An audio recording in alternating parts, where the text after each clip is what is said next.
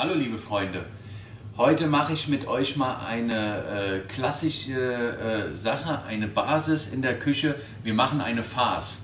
In dem Fall ist Farce kein äh, kleines, simples Theaterspiel, sondern äh, es ist eine Sache, äh, womit man Fleisch füllen kann, man kann äh, Toppings machen oder einfach als Bindemittel verwenden, zum Beispiel für ein, für ein Wellington, ganz klassisch. Ja? Wir nehmen in dem Fall heute Putenfleisch oder Hähnchenfleisch ist auch okay.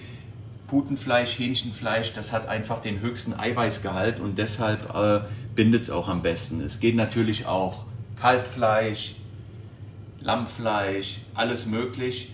Auch Fischfars gibt es natürlich, Lachsfars ist ein Klassiker oder äh, Zanderfars. Nur Zander hat ein bisschen weniger Eiweiß, da macht man dann schon ein bisschen Hühnereiweiß mit dabei. Aber das ist ein anderes Thema. Wir konzentrieren uns heute mal auf die Putenfars. Ganz wichtig, dass wir zuerst das Fleisch von allen Sehnen und Häuten befreien. So.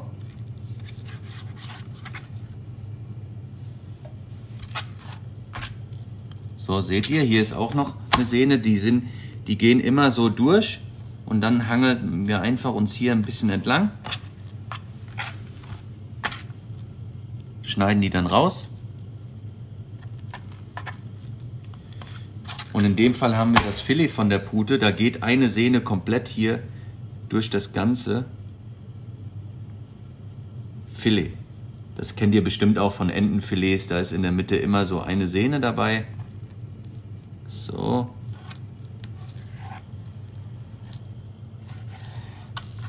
Hier ist es ganz sinnvoll im Vorfeld, das schön sauber zu machen, damit später der Mixer das auch schafft und dass nicht die hässlichen Sehnen drin bleiben. In der gehobenen Gastronomie wird das alles nochmal fein durch ein Sieb gestrichen, aber das können wir uns ja, wenn wir gut arbeiten, für zu Hause sparen. So, hier ist noch eine Kleinigkeit. Also wirklich genau arbeiten ist hier schon von Vorteil, da habt ihr später einfach ein besseres Ergebnis. So. Und jetzt schneiden wir das in kleine Stücke.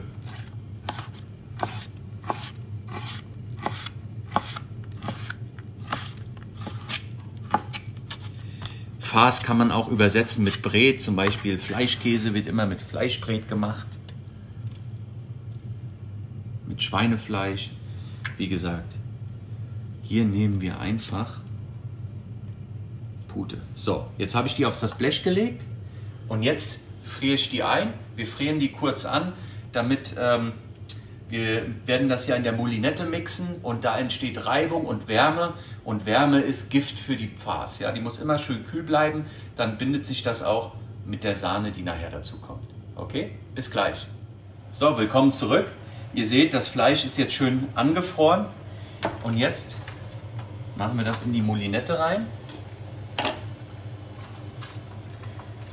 Nicht wundern, ich habe eben schon mal eins ausprobiert, weil normalerweise arbeiten wir ja nicht mit, mit der Moulinette, mit Haushaltsgeräten. Ja. Hat mir der Marc ausgeliehen von zu Hause. So, Putenstücke rein, dann ein bisschen Salz, bisschen Pfeffer also nicht zu viel, das kann man später natürlich alles schön, schön nachwürzen, ist ja eine Farce. Und dann kommt 1 zu 1 Sahne hinzu. Der Metzger nimmt Wasser oder Eis und wir nehmen Sahne. So, jetzt wird es kurz laut, nicht erschrecken.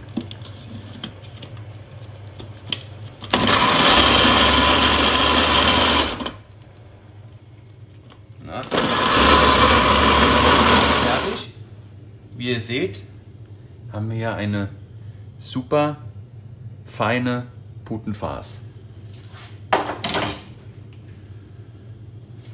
Die holen wir jetzt hier raus.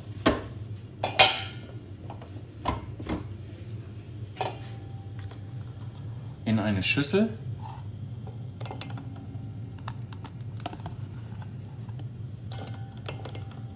Also ganz simpel gesagt, jetzt für mich so wieder als Kameramann Rückfrage. Ich habe das Putenfleisch, Sahne und schön fein pürieren. So. Genau, Salz, Pfeffer haben wir Salz, noch, Pfeffer. so als Grundwürze. Ja. So. Und dann habe ich schon mal eine Grundbasis. Genau. Jetzt ist die Frage, was kann man denn hiermit machen? Also, man nimmt es zur Fleischfüllung, natürlich nicht so. Man kann zum Beispiel hier Nüsse reinmachen oder man kann ein Pesto reinmachen oder andere Kräuter, Bärlauch, man kann Trüffelöl reinmachen, man kann eigentlich alles reinmachen, was relativ trocken ist. Ja? Also man kann auch Gemüsebrunoise reinmachen, wenn die abgekocht sind oder äh, Tomatenfilets und so. Wichtig ist nur, dass die Konsistenz erhalten bleibt und ganz wichtig beim Handling, das muss immer schön kalt verarbeitet sein. Ja? So, wir haben gesprochen, man kann damit äh, Fleischfass, also Fleisch füllen, man kann auch was anderes binden. Fass müsst ihr euch so vorstellen, was für den Maurer der Mörtel ist, ist für die Köche die Farce, ja, als Bindemittel. Oder Suppeneinlage und das zeige ich euch jetzt damit. Wir nehmen einfach hier ein bisschen Bärlauchpesto, mischen das hier rein.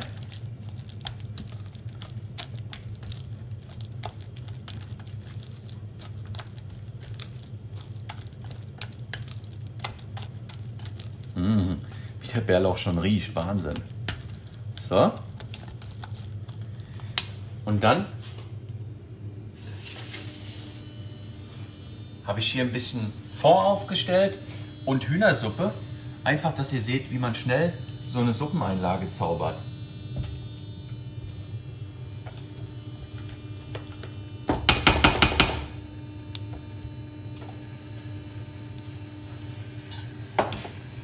So, machen wir den Löffel ein bisschen heiß. Hier habe ich die Farce und dann steche ich mir so schöne Klößchen ab. Die dürfen aber nicht mehr kochen. Einfach rein. Füllen wir noch ein bisschen Fond dabei. So. Und dann lassen wir die schön ziehen.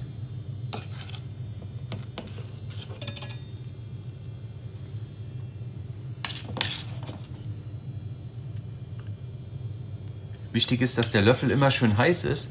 So habt ihr außen schöne glatte Glöschen. Ja? zeig das nochmal langsam. Nochmal langsam? Ja, die, die, diesen Kloß machen. Das sieht, okay. Das sieht ja total schön aus. So. So. Ja. Seht ihr, glatte Oberfläche? Einfach reinfallen lassen und jetzt einfach ziehen lassen.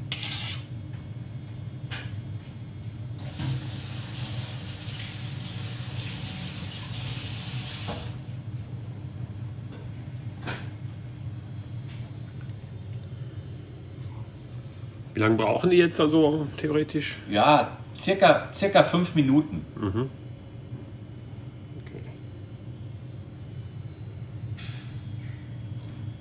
Wenn sie fertig sind, zeige ich euch, wie man das jetzt schön in eine Suppe anrichtet. So, unsere Klößen sind jetzt fertig. Das seht ihr auch daran, dass die jetzt oben schwimmen und nicht mehr ganz unten sind. Ja? Seht ihr, sehen auch schon schön gegart aus von außen. Hier im anderen Topf habe ich mir eine schöne Hühnersuppe warm gemacht und die richte ich jetzt an. Ich nehme einfach die Klößchen hier raus.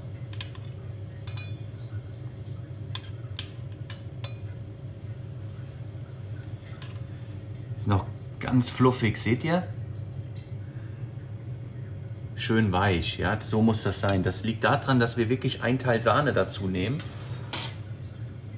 Und jetzt füllen wir die Hühnersuppe da drauf. Und so habt ihr mal eine Abwechslung zu euren normalen Suppeneinlagen.